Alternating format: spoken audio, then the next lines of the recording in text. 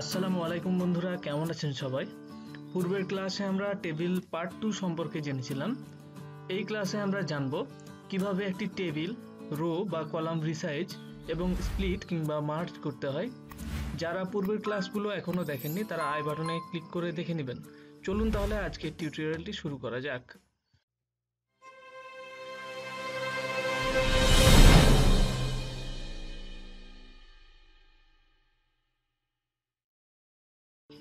আমি এখানে একটি ডেমো টেবিল নিয়েছি। এখন আমরা দেখব কীভাবে টেবিলের রোগুলো রিসাইজ করা যায়। এর জন্য আমরা টেবিলে যে কোনো একটি ঘরে ক্লিক করব। ক্লিক করার পরে আমরা যাব লেআউট ট্যাবে। দেন এখানে দুইটি অপশন দেখতে পাচ্ছি।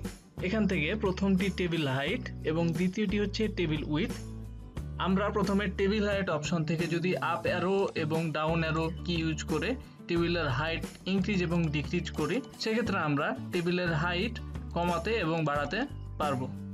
আবার আমরা যদি টেবিল উইদের আপ এবং ডাউন অ্যারো ইউজ করে এখান থেকে সাইজ বাড়াই কিংবা কমাই, সেক্ষেত্রে আমরা কলামের উইথ বাড়াতে কিংবা কমাতে পারব। এবার আমরা দেখব কীভাবে একটি টেবিল রিসাইজ করা যায়। এক্ষেত্রে আমরা দেখতে পাচ্ছি রেজাল্ট সিট ওয়ার্ডটি একটি হওয়া সত্ত্বেও এক লাইনে না হয়ে দুই লাইনে হয়ে আছে। আমরা এক্ষেত্রে রেজাল্ট সিটের এখানে ক্লিক করব। ক্লিক করার পর আমরা চলে যাব অটোফিট অপশনে দেন আমরা যদি অটোফিট কন্টেন্টে ক্লিক করি, তাহলে আমরা দেখতে পাচ্ছি রেজাল্ট সিট ওয়ার্ডটি সহ বাকি ওয়ার্ডগুলো তার প্রয়োজন মতো জায়গা নিয়ে টেবিলের সাথে ফিট হয়ে গেছে।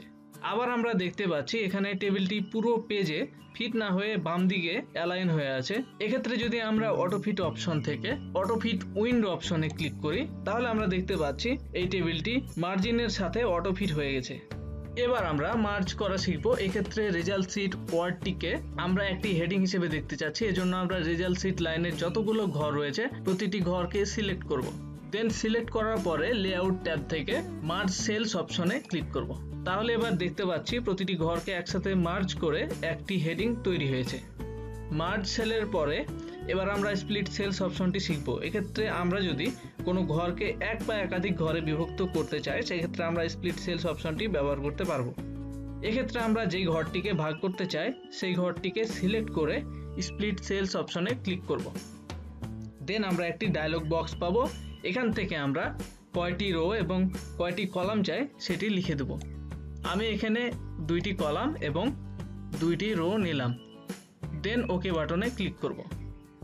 এবার আমরা এখানে দেখতে পাচ্ছি এই ঘরটিকে দুইটি কলাম এবং দুইটি রো নিয়ে চারটি ভাগে বিভক্ত করা হয়েছে। আবার আমরা যদি মনে করি এই টেবিলটিকে দুটি টেবিলে বিভক্ত করতে, সেক্ষেত্রে সেটিও সম্ভব। এজন্য আমরা যেখান থেকে টেবিলটি ভাগ করতে চাচ্ছি, সেখানে ক্লিক করব। দেন আমরা স্প্লিট টেবিল অপশনে ক্লিক করব। তাহলে এবার দেখতে পাচ্ছি টেবিলটি দুই ভাগে ভাগ হয়ে গেছে। তো বন্ধুরা, আমরা এভাবেই একটি টেবিল রো এবং কলাম রিসাইজ করতে পারব এবং স্পিড কিংবা মার্চ করতে পারব। আমি আপনাদের সুবিধার্থে খুব সহজ করে বোঝানোর চেষ্টা করেছি। তবুও আপনাদের যদি বুঝতে প্রবলেম হয়, সেক্ষেত্রে আমাকে একটু নক দিয়ে জানাবেন অথবা আমাদের গ্রুপে একটি পোস্ট করবেন। আমি যত দ্রুত সম্ভব আপনাকে হেল্প করার চেষ্টা করব। ভিডিওটি যদি ভালো লেগে থাকে, তাহলে অবশ্যই লাইক কমেন্ট করবেন এবং শেয়ার করে বন্ধুদের দেখার সুযোগ করে দেবেন। তো আজকের মতো এ পর্যন্তই। আমরা আগামী ক্লাসে টেবিলের পার্ট ফোর নিয়ে আলোচনা করব। সবাই ভালো থাকবেন সুস্থ থাকবেন। ধন্যবাদ।